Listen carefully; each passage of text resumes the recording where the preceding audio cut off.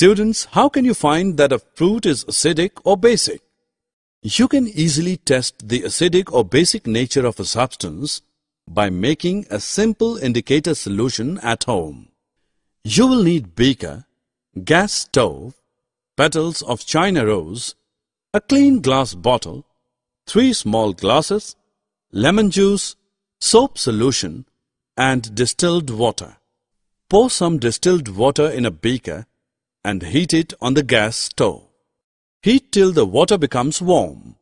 Then to this warm water add petals of china rose. Keep the mixture for some time till water becomes colored.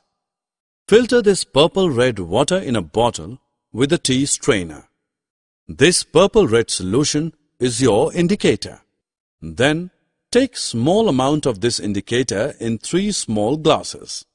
Pour lemon juice in the first glass, water in the second glass and soap solution in the third glass. What do you see? You can notice that in glass 1, color changes to dark pink. Lemon juice is acidic in nature, so there is a change in the color of the indicator.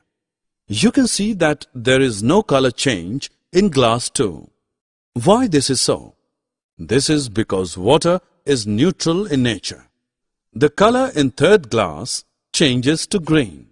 Thus, we can conclude that the indicator solution obtained from China rose turns bright pink in the presence of an acid and green in the presence of a base. We can put a drop of this indicator solution in the desired food item to know whether it is acidic or basic.